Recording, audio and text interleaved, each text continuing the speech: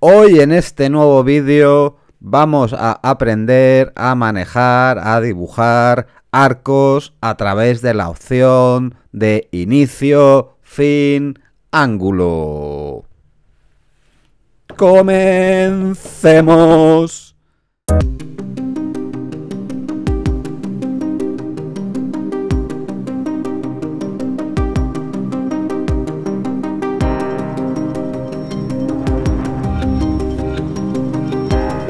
Primero que vamos a hacer es irnos a la ficha inicio, al grupo dibujo y dentro del icono de arco, que es este de aquí, lo abrimos. El icono es un icono anidado que tiene un triangulito debajo. Se nos abren las opciones que tiene el comando arco y vamos a inicio fin ángulo si esperamos con el cursor un momento y eh, dentro, parados, dentro de la opción, se nos abre esa ayuda visual que se llama Tooltips, que al principio es muy interesante para vosotros porque nos indica el proceso a seguir.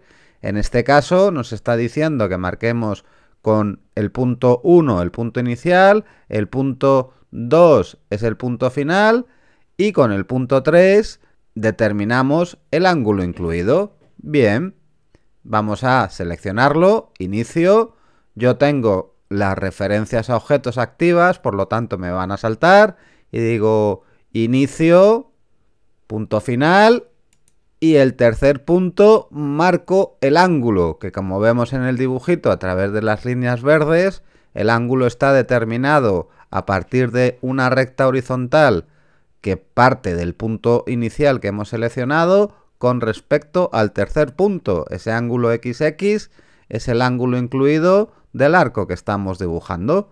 Pincho y ya hemos dibujado el arco.